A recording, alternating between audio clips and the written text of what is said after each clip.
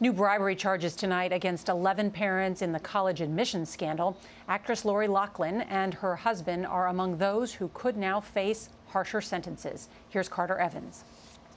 From the beginning, Lori Loughlin and her husband, Massimo Giannulli, were determined to fight the charges. They're among the 33 parents originally accused in the biggest college admissions scandal in the nation's history. 14 pleaded guilty early on to avoid additional charges of money laundering, including actress Felicity Huffman, sentenced to 14 days in federal prison. She'll be released by Sunday. Last week, prosecutors gave a stern warning to parents still fighting back plead guilty or prepare to face new bribery charges, and four parents did change their plea in Boston federal court.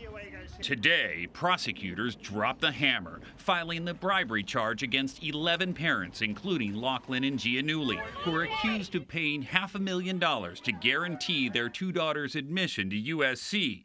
The university now confirms both daughters are no longer enrolled. Is there anything that Lori Loughlin can do now? Put herself upon the mercy of the government and see if she can work out a deal. But if they think they can win this at a trial, then they must know something that I don't. Some of the accused coaches are now also facing that beefed up bribery charge, and that could add a potential five more years to any sentence. Nora? Carter, thank you.